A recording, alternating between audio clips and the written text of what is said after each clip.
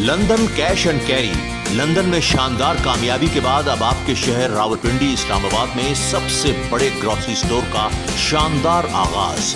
25 जनवरी सपहर तीन बजे, जहाँ आपको मिले जरूरियात ज़िंदगी की तमाम अशिया होलसेल रेट पर। ग्रॉसरी क्रॉकरी कॉस्मेटिक्स टॉयज मसाला जात, मशरूबात फ्रेश चिकन मटन बीफ ताज़ा फल और सब्ज़ियाँ।